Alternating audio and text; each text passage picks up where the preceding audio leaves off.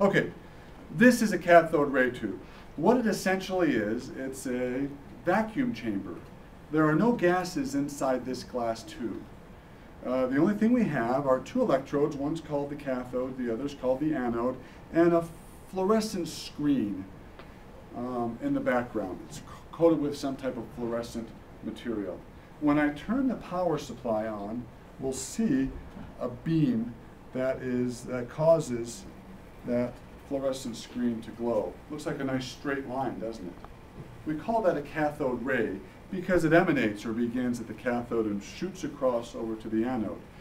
J.J. Thomson was working with cathode rays. We really didn't understand what they were. I mean, we have electricity going in one side and coming out the other, but there's nothing inside to conduct it. It's a vacuum tube. So he decided to apply a magnetic field um, to this cathode ray, and he found something interesting.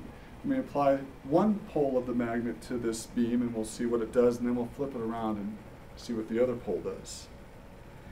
This is my favorite part. Can you see what's happening to that beam? What does it appear as though it's happening to it? It's moving. It's moving, it's being repelled, isn't it, by the magnet.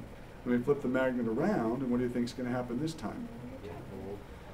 Well, if it's being attracted on one pole, See how it's being attracted there? Let me rotate it so the kids on the, this side of the room can see it. See how it's being attracted there? And then the other pole, do you see how it's being pushed down? What does that tell me about that beam? It has a what? It has a charge. Let me tell you about the poles of the magnet. The one that pushes it away is the negative pole. So what does that tell you about the charge of those particles? Negative. Negatively charged particles. And J.J. Thomson was actually able uh, to do a charge uh, to mass ratio of these particles, and he found that these particles were about 2,000 times lighter than a hydrogen atom. Now, at the time, that was very profound. What did Dalton say? Are there any particles smaller than an atom? J.J. Thomson just found something 2,000 times smaller than a hydrogen atom why is the hydrogen atom and something 2,000 times smaller than it so profound? It's Hydrogen. Because hydrogen is the smallest. Because hydrogen is the smallest atom, isn't it?